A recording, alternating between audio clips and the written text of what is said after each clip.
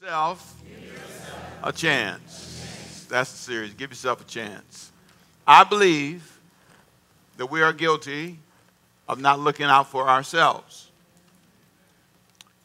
God's principle of giving is linked to getting something to you.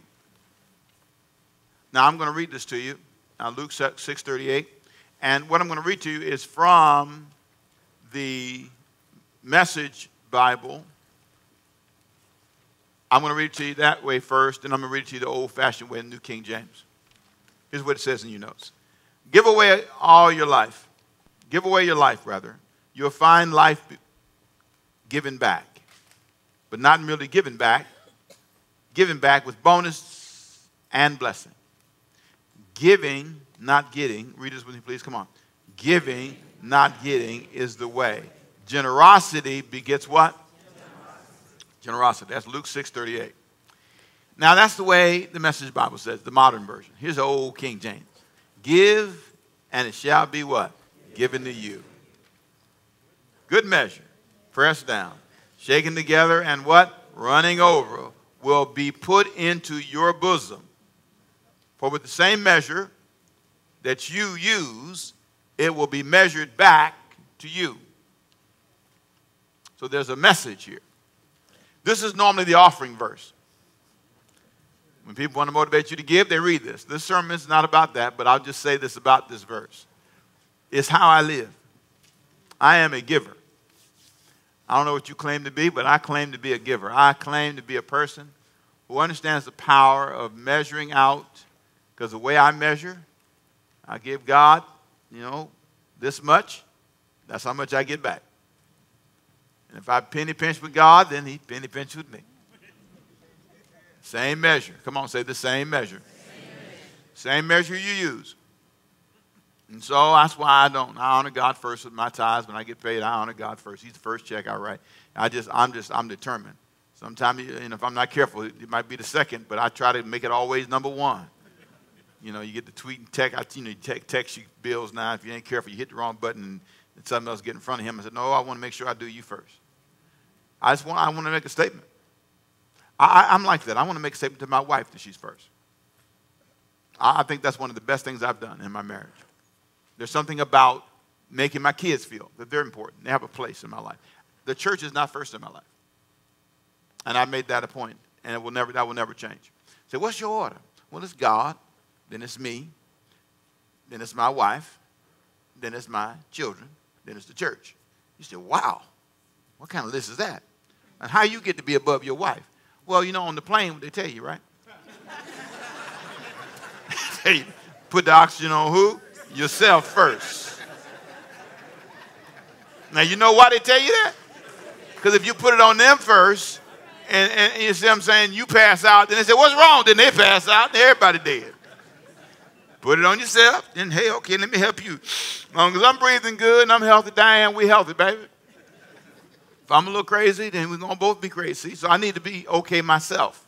So I take care of Ricky. I get up and work out for who? That's right. That's for me. That's so I can be strong. So I won't be. I'm telling you, I have to fight it every day. It's a fight. But I'm determined. I said, Jesus' name, get them legs up. Boy, come on, son. Come on, get it up, go back, go sideways, do something. Because otherwise, you go down, can't get back up. Praise God. Give myself some time to work out give myself a longer, healthier life. Give myself some savings money, give myself dignity when I got a crisis. And I had some crisis. You know, lightning struck, struck my, my um, water sprinkler system. Yeah, the preachers. I look up there and say, come on, God, now wait a minute. I'm working for you. Lightning done struck my stuff. And then, you know, I have homeowners, but it was right below the, the, the limit. So I had to pay that. Yeah, right below the deductible. I had to not, so I had to pay that cash. But see, God is so good. I believe if you give, God will bless you. Come on, say amen. God will, come on, God will work it out for you. Come on, say give, and it shall be given to you. Give you a quick testimony. So um, my, air, my air conditioning went out at my house downstairs. My wife called me. I was out of town. She said, hey, you know the air conditioning's out. I said, air conditioning? The heat, heat was out. Now, cold snap we had a little while ago. And she was in the house shaking. I said, well, well, well you're hitting wrong. You're not doing it right, baby. So I said, let me tell you how to do it. So I'm, and she said, I did everything you said, and it's still not working. So I come back home, uh, and, I, and I came back home a day early, and I was planning on coming back home. And um, I got to the thing, I said, what's something wrong with this thing? And so I called the man, and uh, now I came back home a day early. God, you heard me say that? So I came, I punched the thing, and I called the guy. He came out the next morning, and he sat there, came with his assistant, you know, and they looking at it. Oh, Evan.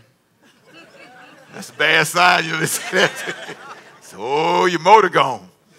I said, oh, that's what I said too. Oh, you wanted to be a fuse. You know, you always pray, Lord, let this be a fuse. In Jesus' name. It wasn't a fuse, it was a motor. So he said, oh, that's a lot of money, a lot of money, Reverend. So I said, it's under warranty. He looked at the thing and said, oh, you know, you got one more day.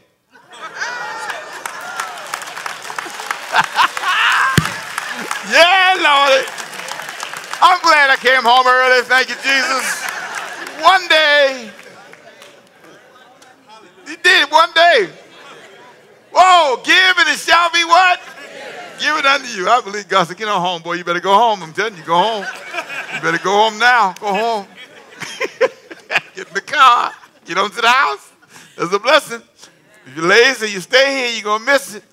It'd be shame to hear, oh, you missed it about day, Reverend. Missed about one day. One day.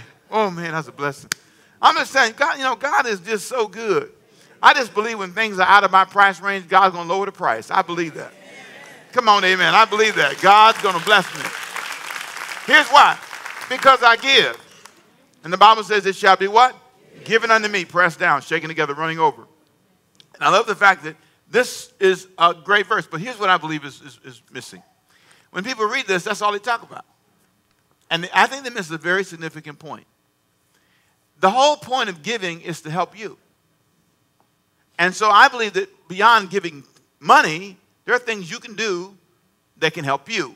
If you give yourself to certain investments in terms of your time, going to school, for example, you give yourself a chance to have a greater opportunity if you invest in certain things early in your life. What I'm doing today is only because I, years ago, did some things, made some investments. I gave something to myself. And, and that's why I'm able to do this today. If I had not given that to myself years ago, I would not have had this opportunity. And so here's the big question for today Are you giving yourself a chance by being nice to the future you? T.D. Jakes made this statement. It was powerful. He said, he said, you know, inside of you there's an old person. And that old person one day is going to be the person. What are you doing today to help that older person? When that older person can't work as many hours and doesn't have the same opportunities. Are you saving money? Are you building a future? Are you taking care of your health? So that that older person will benefit from what this younger person has done. Now, you've, I'm already old. If you're 60, 80, you won't be old when you're 60, when you get 80. Amen. Come on, come on, say amen if you know what I'm saying to you. Stop talking about how old you are because five years from now, you're going to be older. You pray, right? And you would appreciate five years from now. Some of you wish now your knee hurting. If you five years ago had done some stretching, it wouldn't hurt as bad. And so understand the, the you back there was not nice to the you that's here now. So here's the big question Are you going to give yourself a chance in the next 10 years to have a better life? Are you going to create something? Now, this month we talk about giving yourself a better chance. Next month we're going to show you how to build a better chance. There are ways and things you can do that can make everything different. That's why this series is so important to me this year. This series talks about how to build a future. You build a future by giving yourself a chance. I'm not talking about anybody but you today, just you. I want you to think about yourself and your future and your life. Are you going to do this? Are you going to give yourself a chance to have a better relationship, a better life? Or are you going to wait for somebody else to do it? You want to go meet somebody, and you think they're going to make your life better, as if, it, as if that's their assignment. I always say to people, nobody's planning for your success. Have you figured that out yet? Name the person who's planning for your success. What's their name and address? Who's planning to make you better? Who's planning to fix your life? Who is it? Oh, oh it's God. Okay, so I'm going to pray to God and make this God's responsibility. Really? I love something else. I'm sorry. There's a book called Soar that Jakes wrote that I love. And it's a comment there. He says, he says, Christians misunderstand that God does not make toys and furniture. He makes trees. You make the furniture. And you're praying for God to make furniture, and He doesn't make furniture. He doesn't design furniture. He's never designed any furniture. You designed the furniture. That's why He gave you a mind. And there's something about you understanding the power of that. The power of saying, I personally have a responsibility to create something for my future. I have to, this is my job, not God's job. But here's what I believe happens certain things can come into our lives and throw us off, and we absolutely lose our way. We can't find our way. One event, one tragedy can uproot our faith and we lose our way. And for some of you, that's been the case. You have given up on striving for anything because something happened to you. And you, and you lead off with that in conversations when you deal with people. And as if somehow that really matters much to your future. It, it, it's, it's part of the story, but it's not going to change anything. I want to show you in Ruth today. We're going to take a journey for four weeks. We're going to study one book of the Bible. And I'm going to show you four amazing truths from this book that will help you give yourself a chance. Here is the bottom line of the whole book. You ready? Look at the preacher for a second. Ruth is going to run upon a tragedy that looks like she has no future. But she makes a decision that gives her a chance to have a future. Whatever happened to you may be horrible, it may have hindered you and slowed you down. But I want to tell you today that you serve a God that can give you another chance. Come on, shout amen. I believe it. So there are four things in this study that we're going to talk about. Four ways you give yourself a chance. You give yourself a chance, number one, by giving to God and giving to yourself. Can you say with me, please? Come on. Giving to God and giving to yourself. Honoring God and honoring yourself. But understand they work hand in hand. You cannot just pray and say, God, I'm giving to you, and you are responsible to do everything else for me. That is not how it works. You are involved in this process. You're going to watch Ruth take charge of her life. She's honored God, honored her husband, honored all she can, but now she's going to make some crucial choices that's going to give her a future chance. The next sermon, we're going to talk about this. You give yourself a chance by letting the right people have input in your life. It is all about who talks to you. You have no chance of success talking to those people. As long as you hang in this crowd or that go to that place, there is no way you have a chance to succeed. Here's how you know it because the people you're around have not succeeded. You're going to the same porch, having the same conversations about the same junk, and that's why you have the same issues in your life. It's when you stop doing this that you'll get that. And when you stop doing that, you'll have something in your hand that you can now ch- you can celebrate. There's something about coming to that place where you look at input in your life. And then thirdly, I want to show you that you give yourself a chance by making love relationship choices the right way. Most people, when they make love relationship choices, they make it out of emotion and a moment. Oh, you move me. And it's all this excitement. Anybody can go to the gym and exercise. Now, I'll let you meditate on what I mean by that. Anybody can go to the gym and work out. Anybody can sweat but not everybody can be a husband and a wife and be faithful and be true. Can we say amen if you're hearing me? Some of you going to say he was doing so good and he was talking about love and then he started talking about exercising and going to the gym. What do you think he's talking about? Pray about it. Anybody can do that. That is no indication of any long term success.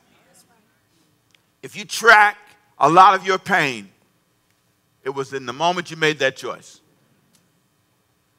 It's what all the music is about. You broke my heart, crushed my heart, you're not honest, I'm walking out on you, you left me. It's all about love relationships.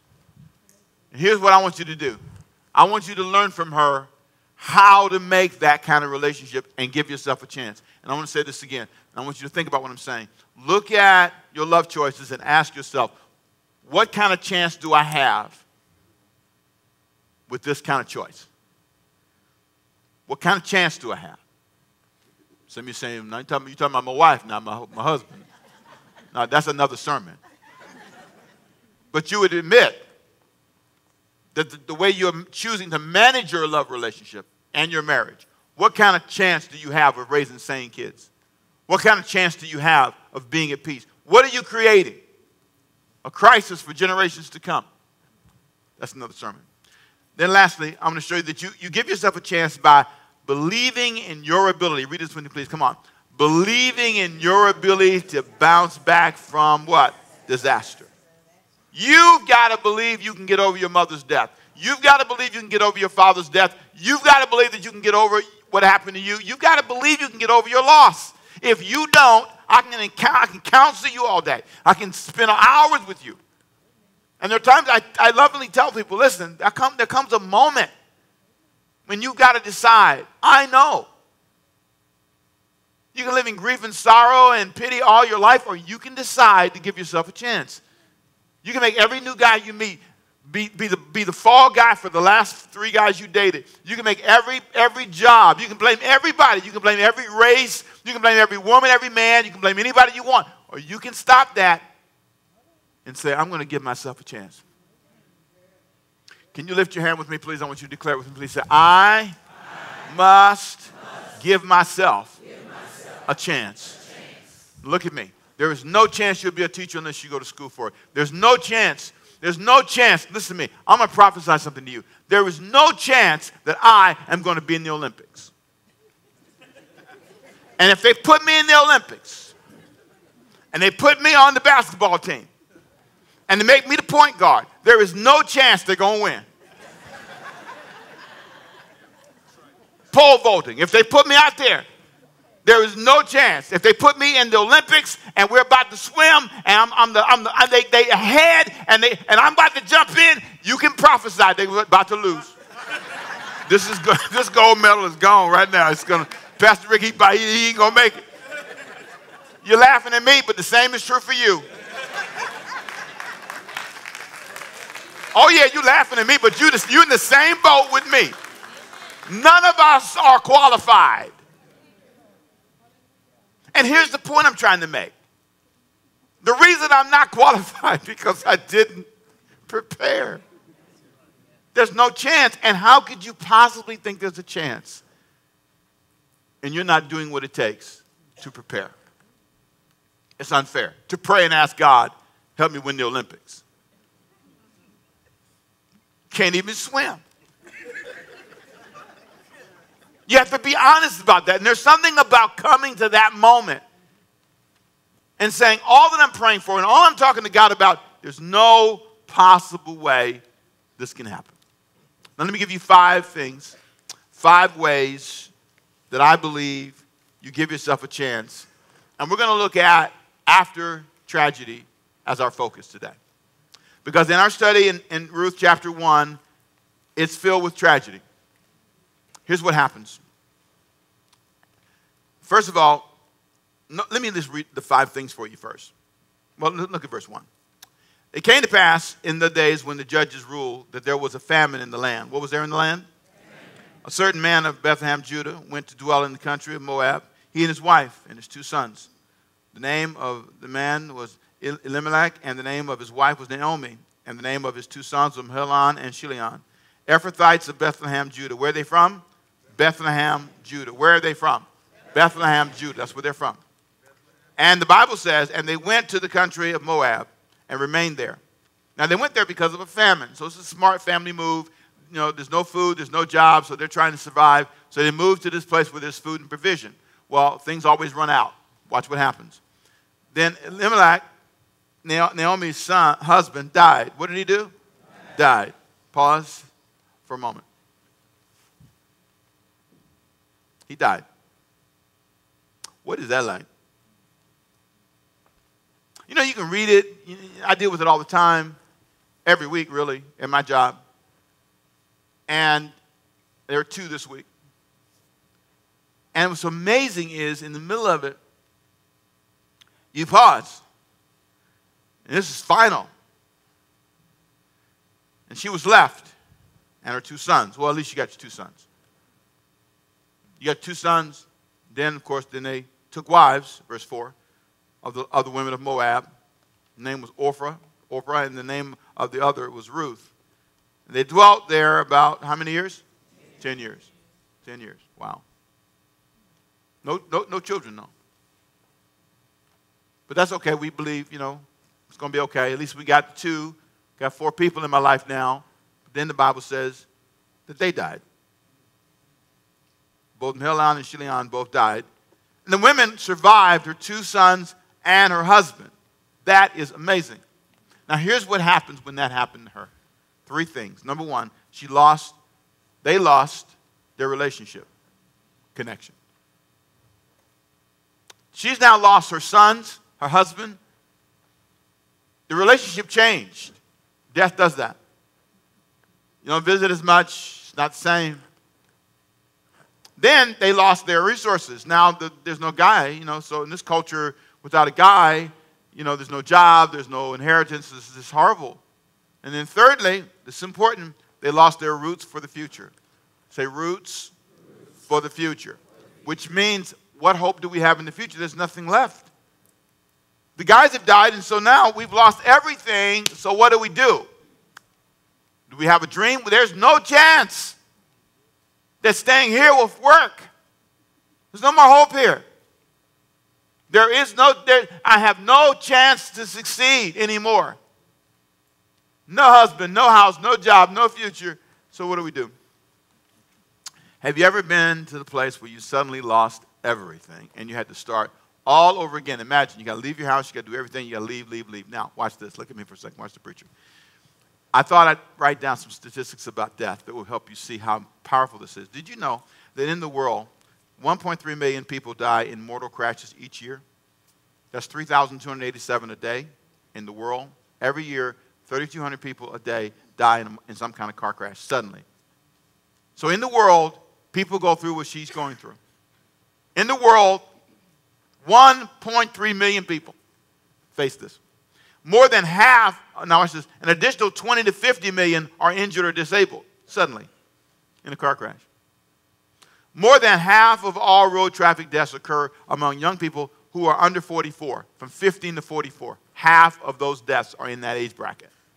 Young people, suddenly, families tragically affected by this loss. In the United States, it's 37,000 people die in road crashes each, each year, and that's 100 a day.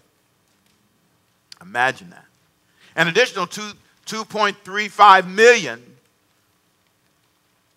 are injured every year in America. Over 1,600 children. Over how many? 1,600 children. Over 1,600 children under 15 years of age die each year in a car crash. Now imagine how it feels for those families and some of you know people, I know people that this has happened to, where 8,000 people are killed in crashes involving drivers ages 16 to 20 every year. I know of people who've been injured, disabled, all of that. I know my own stories, and I've pastored long enough to see this happen, and I'm telling you, it's amazing. So here's, what, here's what's amazing to me how Ruth responds to it.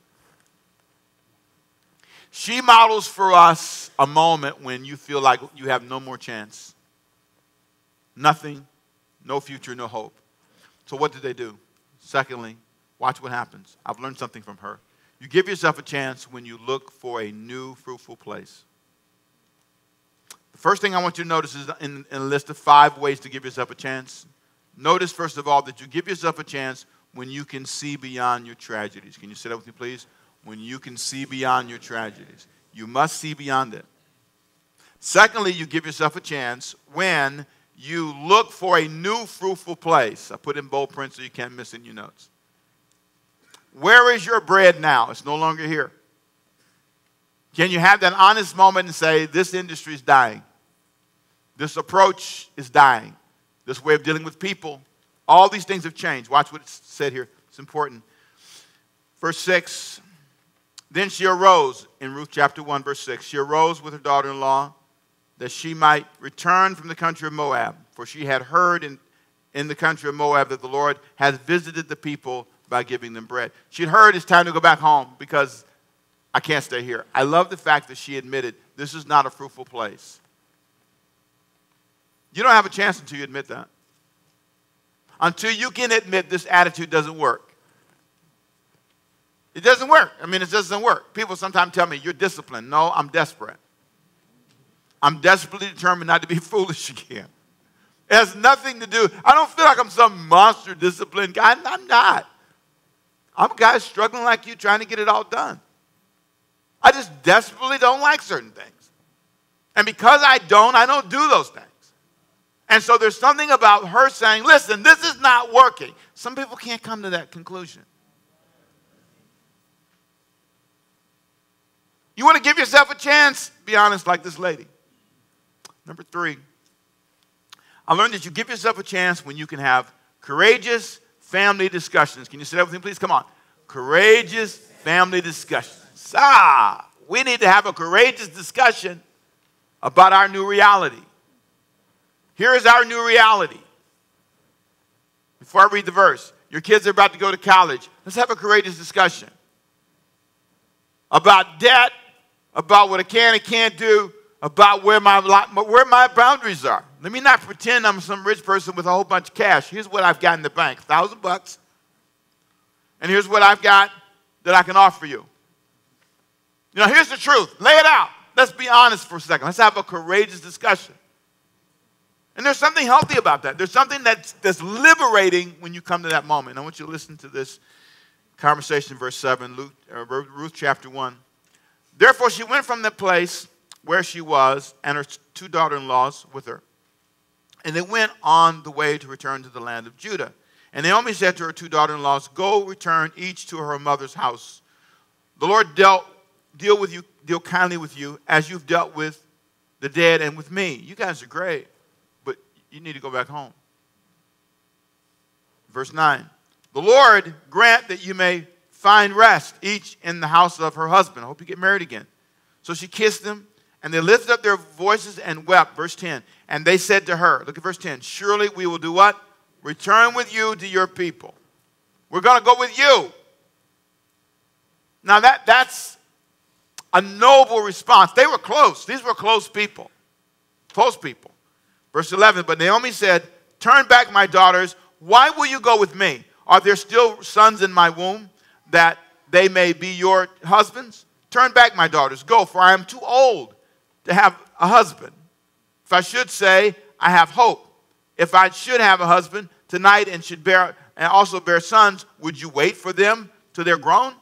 Would you restrain yourself from having a husband? Come on. No, my daughters, for it's grievous, it grieves me very much for your sakes that the hand of the Lord has gone out against me. And I want you to underline that statement. I want you to think about that. I underlined it for a reason. She has some issues with God. We'll talk about that in a minute. But I want you to notice with me, this is a conversation that was important. Watch what happens in verse 4. I'm sorry, verse 13. You give yourself a chance when you are honest and you cling to the right person in your life. That's number four on your list. When you are honest, in that moment when she said that to those women, they had an honest moment. And watch what happens. Verse 14 of, of Ruth chapter 1. They lifted up their voices and wept again. And Orpah kissed her mother in law, but Ruth clung to her. What did Ruth do?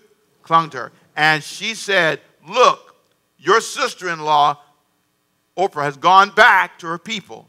And not only to her people, but to her what? Gods. Return after your sister in law. But Ruth said, No. I'll read that in a minute. I want you to look, look at me for a second. In this moment, Orpah makes a, a profound statement. You're right, I don't want to go with you. You're right, I don't want to serve your God. You're right, I, I want to go back to my old life. What's powerful is they were close. Sometimes people close to you don't make the same decisions. Sometimes good people make bad choices. She made a choice to go back to her old life. But Ruth said, Not me. Here's what Ruth said. This is amazing. Ruth said, Entreat me, verse 16, not to leave you, or to turn back from following after you. For wherever you go, read this with me, please. Come on. Wherever you go, I will go. Wherever you lodge, I will lodge. Your people shall be what? My people, and your God, my God. Where you die, I will die, and there will I be what? Buried. The Lord do so to me, and more also, if anything but what? Death parts you and me. Here's a woman who made a decision. Who you decide to cling to changes everything in your life. If you cling to the wrong people, there's no chance you will ever have different results. There is, listen to me clearly, there is no chance. I tell young people all the time if I want to know where you're going, I look at your friends. They tell me your story. They tell me more about you than anything. You like it wild and feisty? You like it hot and heavy? You like, you like it thick and risque? You like all that, and there's nothing, there's nothing in you. I'm not saying you shouldn't be feisty and energetic in life. I'm saying that there are some of us who know we live so far on the edgy side of life, so far away from God, and we like people like that. We like it. We're like her. We're going back to our old life. Doesn't take that much to make you go back. You get back in the club routine real easy. You feel good there. Hey, what's up? You know, I miss y'all. Right. Give me, give me a shot. Double it up. Yeah, I'm going to church tomorrow. I like Pastor Rick in the series. Give yourself a chance. Give me another one of those. Come on, give me another chance. Give myself a chance to get a DUI tonight. That's what I'm going to give myself a chance. I'm creating. See, I'm in a world. So you understand something. There's a there's a difference. Listen man. There's a difference between this and that. There's a difference between holy and unholy. There's a difference. Are you picking on the club? No. Why would I do that? I don't go club looking for my members. I don't. You do what you want to do. It's your thing. Do what you want to do. You know, I can't tell you what to do. All right, I ain't gonna say no more. But you know what I'm saying. I ain't got nothing to do with that. I'm not in charge of that. I am free from that. I'm just giving my testimony. I don't do this because I don't want that. I want God's work to God's power to flow in my life, and I've got to make a decision. Who I cling to. Why are all your friends on drugs? Why? Why all your buddies and all the hangouts with you? Why? Everybody got something. Why? Why? Why is everybody in your life like that? Why? Pause. I'm saying that you, if you're honest, see, this is that honest conversation. This is that's why next year the whole series is on strategic, not honest. Um, uh, oh Jesus, what's the series on? Courageous conversations. That's what it is. Courageous. And I want to have 12 courageous conversations with you. I believe there are things you need to talk about. Somebody needs to look at you and say, Come on, be honest. Now, look, you can do what you want. I'm not judging you. I'm simply saying, if you do this, that's the result. Has that ever not been true? Has that ever not been true? If you keep talking that way to people, you have this result. You end up in conflicts all the time. You're always in some fight with somebody because you keep doing this. That's why that keeps happening. Are you connecting with me? Come on, people, I'm preaching good. You ought to hear me today. I'm talking to you. You can't make it a God issue. You can't make God the reason. You can't make this because God didn't do something. This is about you being clear.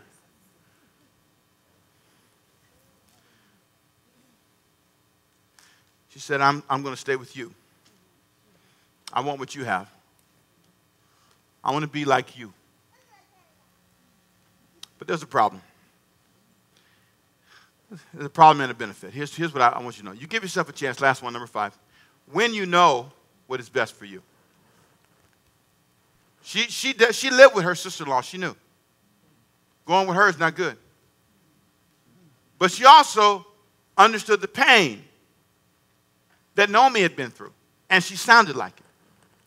See, every, every time you go someplace that's the right place for you, it's not painless.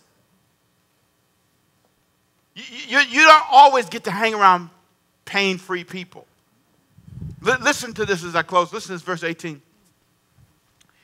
When she saw that she was determined to go with her, she stopped speaking to her. Now, the two of them who went, went until they came to Bethlehem. And it happened that when they come to Bethlehem, all the city was excited because of them. And the women, is this Naomi? But she said to them, now listen, listen, this is so important. Don't call me Naomi. Call me Mara, bitter. That's what Mara means. The Almighty has dealt very bitterly with me. Listen, to, listen to her tone. I went out full, and the Lord has brought me home empty. Why do you call me Naomi? Since the Lord has testified against me and the Almighty has afflicted me. Boy, that's a greeting. I mean, just her tone, her way of saying things. And there's in this moment, I want you to watch this. In this moment, you see the imperfections of Naomi. And this is so important because sometimes where God calls you, the people are not going to be perfect. You're not going to be in a perfect church. You're not going to be in a perfect job. You're not going to be in a perfect community or a perfect country. You, there's nothing, as long as you're there, it's going to be imperfect. But you give yourself a chance. When you look at the circumstances and the options and you say, that's the best for me. Out of all my choices, this is the best church. These are the best friends. They're not perfect, but they don't lead me to the wrong place. Naomi's not going to take me back to the crack house. Naomi's not going to take me back to my old habits. Naomi's not going to tempt me to do what I shouldn't be doing. She's not perfect. She's got some issues, but she's also got some pain. I know where her pain comes from. I watched her lose her husband. I watched her lose two sons. For some of you today, this is the beginning of a great thought. Big question is are you allowing your pain to stop you from having a chance? Are you? Stuck in some tragedy that you have let live for years and it's dominating everything in your mind and heart, and it's going to rob you of God's best. But the saddest part about it, you won't give yourself a chance. You failed, you made a mistake, there's something you're really ashamed of, you won't even give yourself a chance. Every now and then, you got to stop. Defining yourself by your failures, defining yourself by your credit score, defining yourself by your body mass. You got to stop. And you got to give yourself a chance. I love Ruth's approach. I may have had loss, but I'm going to give myself a chance.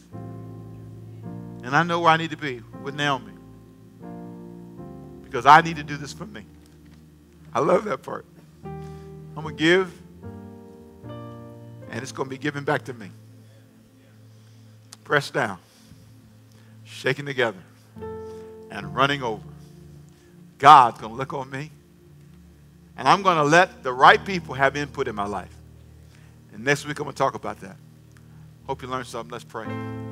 Father, I thank you for the word today and all that's been said. We leave this conversation with a comma.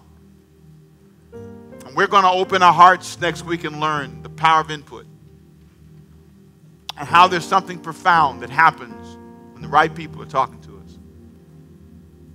things they say to us change our life trajectory. I praise you, Lord, for all the wonderful people around us who may mean well.